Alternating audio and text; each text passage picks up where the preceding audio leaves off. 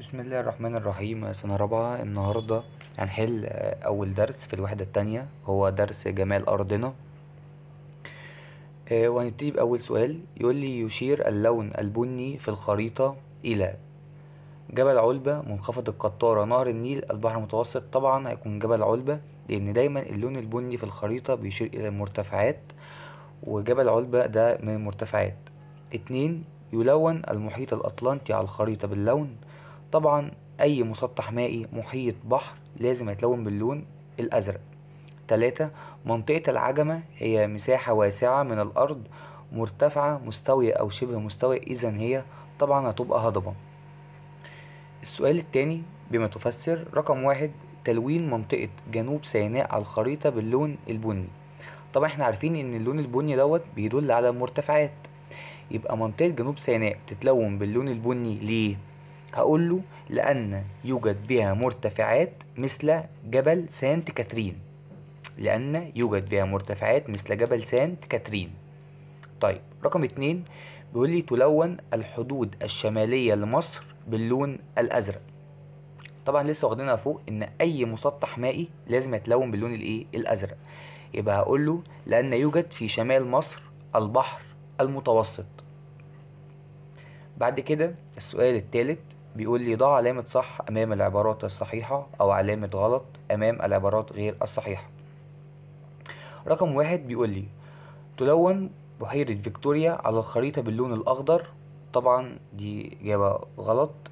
طبعا تتلون باللون الأزرق تمام. اتنين البحيرة عكس الجزيرة في التكوين. طبعا صح. ليه؟ لأن البحيرة هي مساحة من الماء يحيط بها اليابس من جميع الجهات. أما طبعا عكس الجزيرة اللي هي مساحة من اليابس يحيط بها المياه من جميع الجهات. يبقى طبعا رقم اتنين إجابة صح. تلاتة شبه جزيرة سيناء تحيط بها ال- الأرض من جميع الجهات؟ طبعا إجابة غلط. رقم أربعة بحيرة البرولوس يحيط بها اليابس من جميع الجهات؟ دي إجابة صحيحة فعلا لأن هي كده مساحة من الماء يحيط بها اليابس من جميع الجهات. رقم خمسة تحيط المياه بشبه الجزيرة العربية من ثلاث جهات. طبعا إحنا ملناش دعوة بالاسم إحنا بناخد المظهر اللي عندنا اللي هو شبه الجزيرة. طبعا شبه الجزيرة عرفنا إن هي بيحيط بها المياه من ثلاث من ثلاث اتجاهات يبقى شبه الجزيرة العربية يحيط بها المياه من ثلاث اتجاهات طبعا إجابة صحيحة. بعد كده هننتقل مع بعض للدرس التاني وهو درس الطقس والمناخ. وهنبتدي بأول سؤال اختر الإجابة الصحيحة مما بين القوسين. رقم واحد يسود المناخ نقط معظم الأراضي المصرية. طبعا هو المناخ الصحراوي الحار.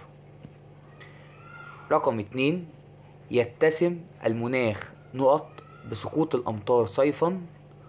طبعا هيبقى المناخ المداري الحار.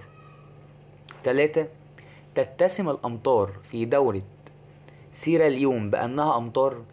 قبل ما نجاوب عايزين الأول نحدد سيراليون تقع في أنه إقليم مناخي؟ بالظبط في الإقليم الاستوائي.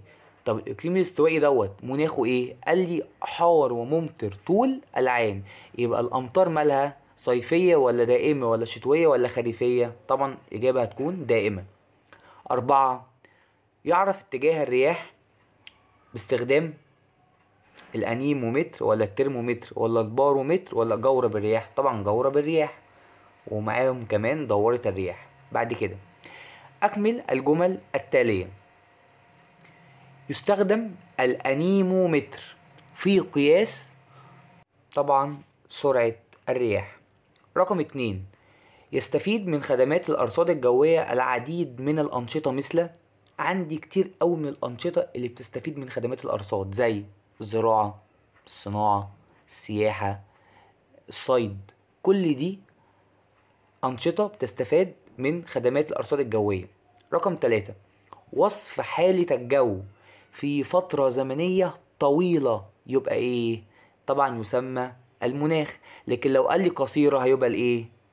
بالظبط هيبقى الطقس أربعة التنبؤ بانخفاض درجات الحرارة غدا يعد دراسة لحالة طبعا الطقس. ليه؟ لأن الطقس بيوصف حالة الجو في فترة زمنية قصيرة اللي هي قد إيه قصيرة؟ يوم أو أسبوع أو شهر. بعد كده بيقول لي ضع علامة صح أمام العبارات الصحيحة وعلامة خطأ أمام العبارات غير الصحيحة. الطقس هو حالة الجو اليومية قد تتغير عدة مرات في اليوم؟ صح. رقم اتنين مناخ مصر حار جاف في فصل الصيف معتدل ممطر في فصل الشتاء؟ صح. تلاتة. يسود مصر مناخ صحراوي. تمام صح. أربعة المناخ الاستوائي يتسم بسقوط الأمطار صيفا والجفاف في الشتاء. طبعا خطأ. بعد كده بما تفسر أهمية دراسة الطقس لأنه يؤثر على قراراتنا أو حياتنا اليومية مثل اختيار نوع الملابس ووقت السفر. اتنين أهمية دراسة المناخ. ليه؟ لأنها تؤثر على بعض الأنشطة الاقتصادية مثل الزراعة.